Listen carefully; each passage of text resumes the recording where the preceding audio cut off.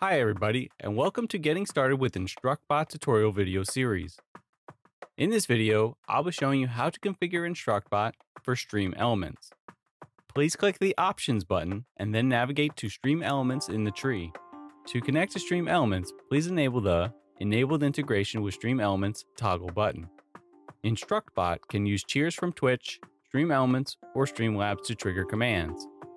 If you have multiple sources of cheers enabled, then multiple triggers will be created for the same cheer. For example, one for each enabled source. For example, the Alt F4 command has a 1000 bit trigger.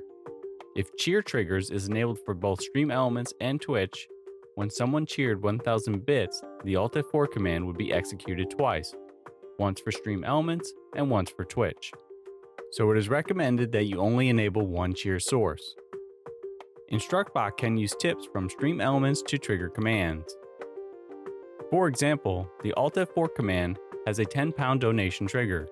If someone tipped 10 pounds through Stream Elements, the Alt F4 command would be executed. InstructBot can respond to testing events generated in the Stream Elements dashboard. Unless this is enabled, all cheer and donation testing events will be ignored.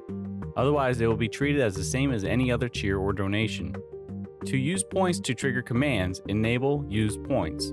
When a viewer types a command trigger in chat, Stream Elements is queried to see if they have the required number of points, and if so, the command is executed. For example, the reload command has a 100 point trigger and a reload identifier. A viewer could execute it by typing exclamation reload into the Twitch chat. This wraps up how to configure Stream Elements. If you'd like to learn more, please look at the other tutorial videos in this series, visit our website, or join our Discord. Links for both the Discord and website are in the description below.